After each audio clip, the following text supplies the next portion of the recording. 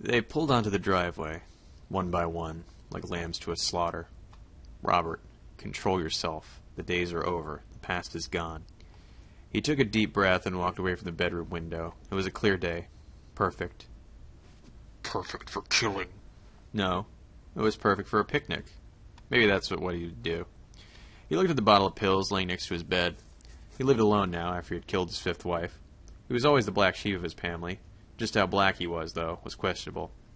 Taking the bottle of pills in one hand, he used his free hand to pry the lid open. His mouth dropped open. The bottle was empty. Now his family was ringing the doorbell downstairs. It looked like he had to tough it out today. 10 a.m. Robert! His mother exclaimed, instantly pouncing on him the moment he opened the door. Hi, Mom, he said, embarrassed. What are you embarrassed for? She's a dead woman. Stop that now. He took a deep breath and shook his hand of his father. He then proceeded to hug his sister. I never thought you'd invite us, Robert, she said. You were always sort of a black sheep, I guess. Um, I don't think being antisocial makes me the worst member of my family. He reminded her that he his book on the study of sheep once had been a bestseller in the sheep studying section of Amazon, that is. Well, it's good to see you guys, he said, looking around at their faces. Such nice faces to wear. Who wrote this? Do you want to come in? he asked them. They all eagerly stepped in the house. 11 a.m. The TV was blaring in the living room. His dad sat on the couch, silent. One would think that he was nothing but a couch potato. In recent years, he had gained quite a lot of weight. The truth was that he was shot through the neck in the Vietnam War. Robert never heard his father's voice once in his entire life. Once, when he was young, he would dream of a magical day when he would wake up and his dad was next to him, talking to his mother in a rich, deep voice. Of course, that day never came. Until today. His dad turned his head towards Robert and opened and closed his mouth, pushing in imaginary bits of food in his mouth as he did so. Then he pointed the clock on the wall. Just one more hour, Dad, Robert reminded him. Then you can create your masterpiece. One more hour until lunch. Can you wait?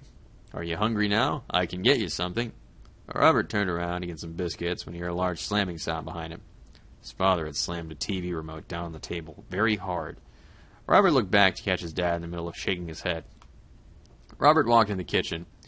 His sister would usually help him cook, but she probably followed his mother out into the backyard to examine the wonderful anatomy of flowers. Uh, the, the more the more time you spend away from people, the better. He never knew when he might break out into a frenzy.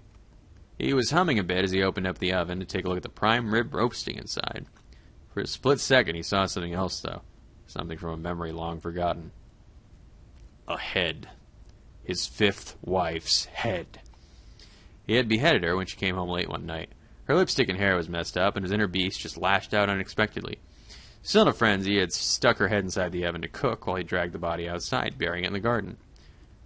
Your sister is in the garden now. Wouldn't you want to add her to your collection outside? When he finished burying her, he was already gaining control of himself. He had rushed back inside when he spotted a solitary black sheep grazing on the grass nearby. Of course, no one could interrogate a sheep, but in this case, he wanted no one to know what he was doing, and that included his family. He rushed back in when he realized he had nothing to eat for dinner. He opened up a frozen TV dinner in the fridge and was about to stick it in the oven when he realized he'd left something in there. But the oven door was already hanging open. His wife stared up at him, her hair frizzled, the golden luminescence now solid black. The face had turned from something pretty to something resembling a zombie. Eyes hanging out, parts of the brain exposed, and there was the mouth, still open in amazement from Robert slicing her up with the axe. He he used some mittens to take the head out of the oven. Gore spilling everywhere, he sliced it up, and realizing he didn't want to go outside, reluctantly ate it a bit by trying to make the parts of the skull look like pork ribs. What the f- Ugh. When he was done, he threw the bones away. Who wrote this? He he put the TV dinner in the fridge, and then, in an act of defiance to his inner monster, vomited on the floor. It took him three days to clean the mess up, gore and vomit. 12 p.m. Robert had a bell. He rung it every time he finished cooking meals. It didn't work very well due to the fact that he only used it when he was cooking meals, and also the fact that he rarely cooked meals. Kill them, taste them, feel them, violate them. Lunch is ready, he called out. The back door opened and closed, and a few seconds later his sister and mother came in, talking about flowers. Can't you see the yellowness it is? His mother was holding a sunflower in her soiled covered hands. Soil was dripping onto the floor. Mom, only some things are beautiful, and this. this isn't, his sister replied. She looked at him. Sorry, she said, I'll clean it up. Oh, I'm sorry.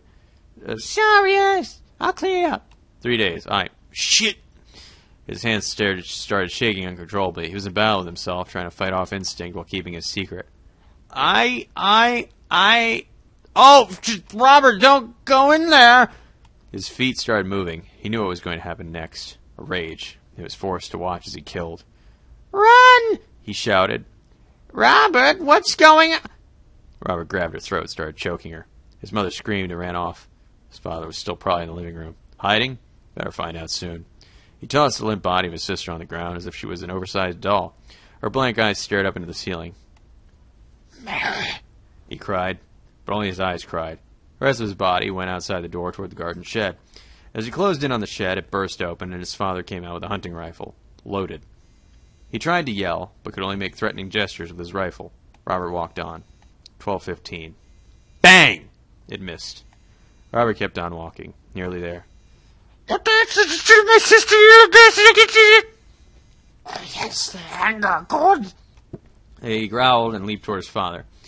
His, his father only had time to fire one shot off before Robert got him on the ground.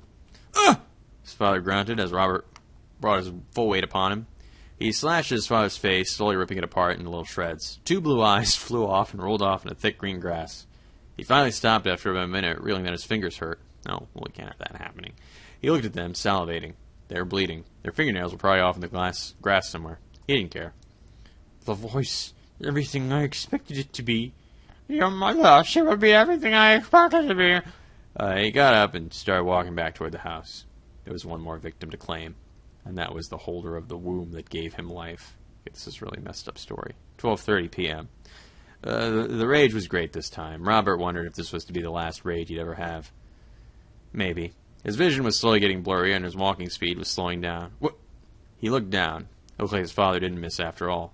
The entire section of his white shirt was stained red. He was going to get bleed to death if he didn't find first aid soon. We won't need first aid. Fueled by a sudden surge of adrenaline, he walked toward the door and pushed it open. When he went in, he thought he could hear whispers. He strode into the kitchen, eyeing his dead sister on the floor before grabbing a cleaver. He looked up, the whispers coming from upstairs. Don't you dare call the police! Robert shouted. He, uh, he heard a scream coming from his bedroom, and he walked there. It was getting harder to walk, one foot in front of the other. His feet were getting heavier. You can do it! Come on! Uh, tw- it's uh, 12:45 p.m. As he was about to turn the doorknob, he heard his mother saying something from inside. You can't, you can't kill me! She shouted. Let's see me try! It. He shouted back and opened the door. She was cowering against the corner with nothing but space to guard her. He smiled. Now it, it, it. His hands were shaking again. He was gaining control. Robert! His mother whispered. Run, Mom! Come on, get out of here before I get. And the control faded away. She was right next to him when he light. She he tightened his grip on his cleaver and swung toward her head. It beheaded her instantly, just like with the axe. His inner beast having done its job, released control over his body, he fell to the ground. Mom, Mom? He asked. No reply. He had no more strength. Maybe, just maybe, he could end this quickly. He crawled over to the window, his vision getting even blurrier. He was losing a lot of blood. The phone was still off its receiver, and he could hear a person on the other end shouting. Ma'am, are you all right? We still need to get your address. The phone, somehow it's untrackable. Ma'am! He, he picked up the phone. It's, it's off to the village, just to the right. Who's this? The officer at the other end shouted. I'm, I'm the person that killed my family. The address is 15 Greenville Avenue. It's. He dropped the phone. 1:15 p.m. He lay there, silent, unbreathing. The sirens in the distance grew stronger and stronger until there were footsteps inside the house. In a matter of minutes, policemen were around the house, scouring evidence and collecting the bodies and trying to identify them. A detective walked through the yellow tape that surrounded the scene. Officer, he asked, where is the killer? Upstairs bedroom, dead. The detective rubbed his chin. Why do you think he did this? he asked the officer. The officer shrugged. I don't know. It was a drunken frenzy, I guess. Judging from how much blood he lost between the time his dad shot him and his death, it was something more. Sister always said that he was the black sheep of his family, the detective offered.